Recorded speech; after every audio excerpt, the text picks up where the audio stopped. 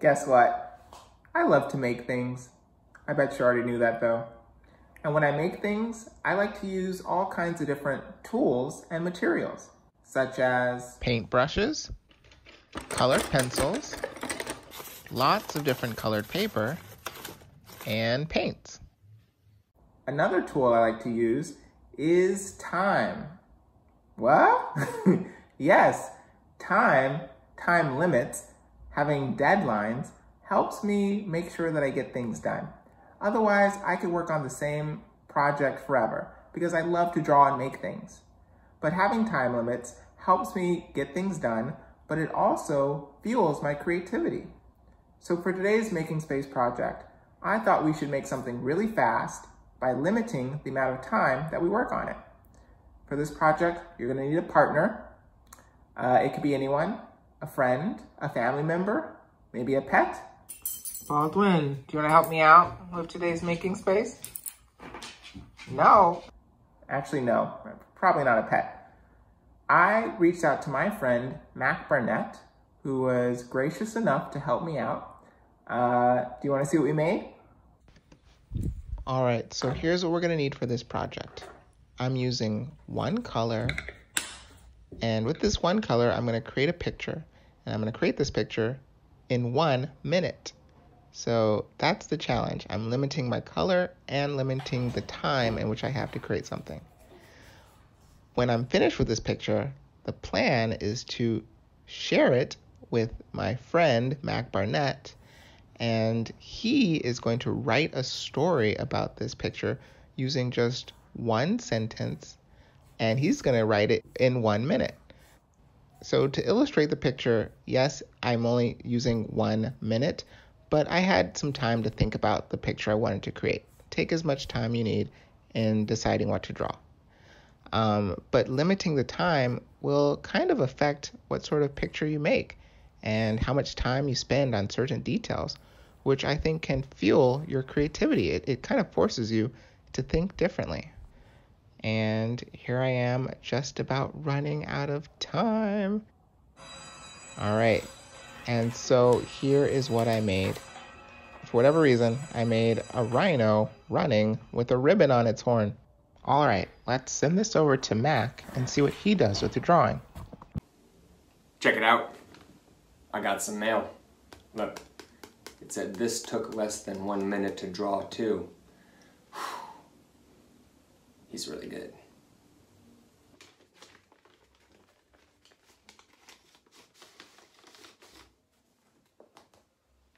Hmm. All right, I'm gonna put up this rhino to inspire me. I'm gonna set this timer for one minute.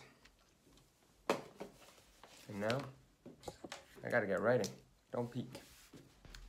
Let's give Mac some time to work on his one minute, one sentence story inspired by a drawing that I sent him. A few days before, Mac actually wrote another story that he sent to me. So this project can work both ways. You can have a picture that inspires words, but you can also have words that inspire a picture. So the sentence says, the elephant and I had a staring contest, but I lost. All right, so what can I draw with that sentence? Should we just go for it? All right, let's see. Let's put the timer on. Let's get some blue paint on my brush. And let's go. Ah, okay. So while I work on this drawing, let's check back in with Mac to see how his story turned out.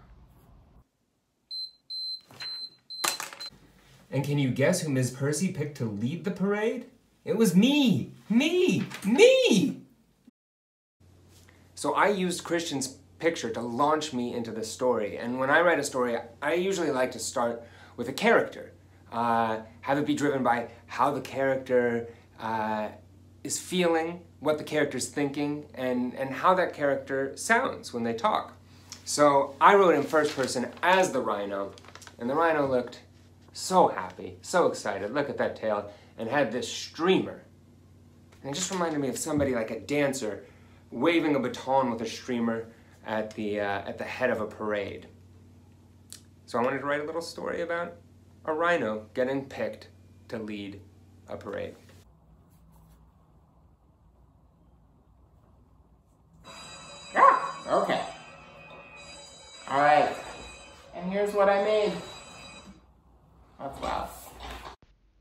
The elephant and I had a staring contest, but I lost.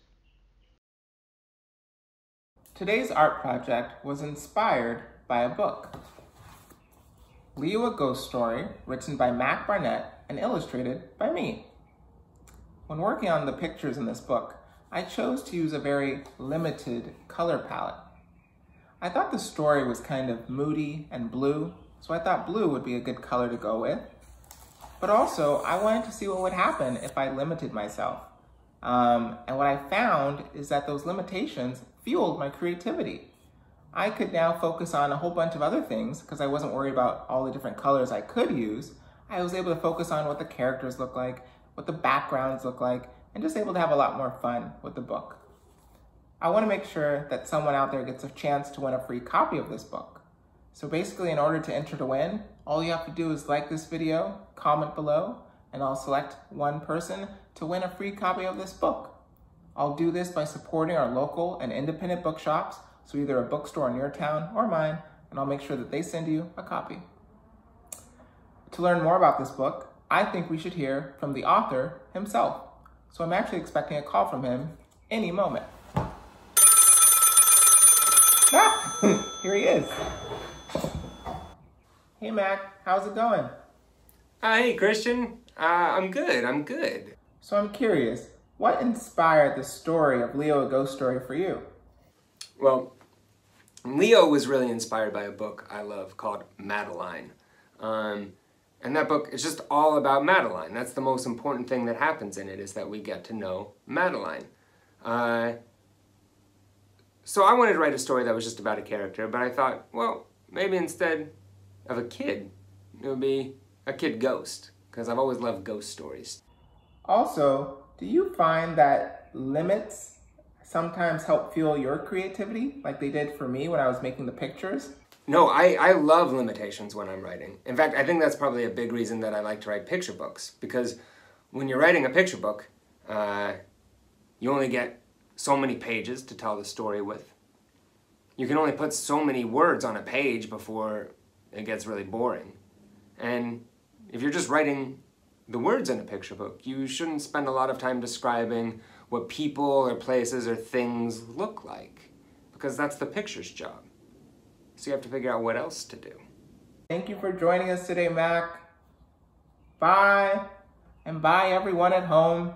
Thank you for making space for fun, for creativity, and just being together. I hope to see you in my next video. Bye.